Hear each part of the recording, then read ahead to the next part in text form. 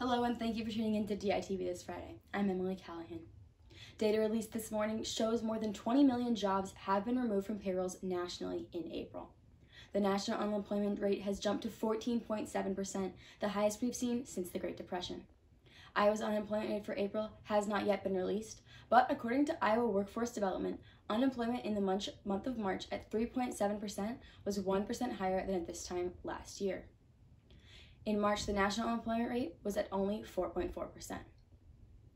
With the official unemployment rate still not yet released, Iowa has seen a huge jump in unemployment claims this month, with tens of thousands initial claims filed each week and 181,358 continued weeks claimed as of May 2nd. For reference, this time last year, there were about 2,000 initial claims each week and 15 to 20,000 continued weeks claimed. Iowans can expect their unemployment rate for the month of April to make a significant jump, much like the national average.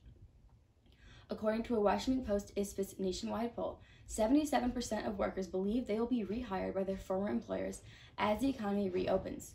However, some economists predict that 40% of job losses could be permanent. Iowa is trying to face these challenges head on with an efficient but safe reopening of the state. In her press conference yesterday, Governor Reynolds said, quote, just as we can't stop the virus completely, we also can't keep businesses closed and our lives restricted indefinitely, end quote.